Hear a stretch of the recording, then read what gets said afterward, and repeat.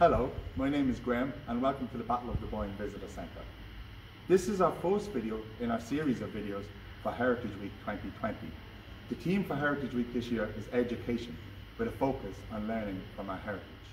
Over the next week, we will be delivering a series of videos relating to different aspects of our site.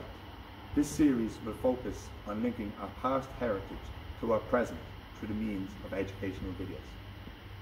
I'm currently standing beside a Jacobite and a Williamite soldier.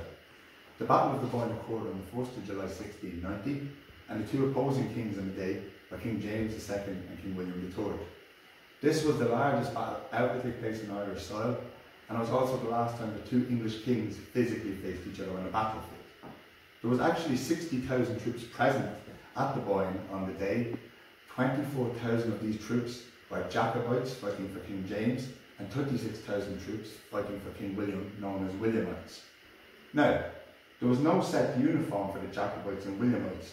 Each regiment wore their own colours. This begs the question, how can we tell friend from foe on the battlefield?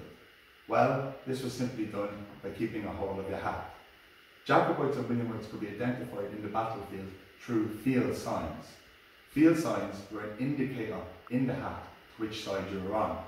If you fought on the Jacobite side, no matter what regiment you were in, you wore a white cockade. If you fought for the Williamites, no matter what nationality or regiment you fought in, you wore a green sprig in the hat. So therefore it was instantly recognisable what side you fought for as long as you kept a hold of your hat. So I hope you enjoyed that and stay tuned for our next video in our series for Heritage Week 2020. Thank you.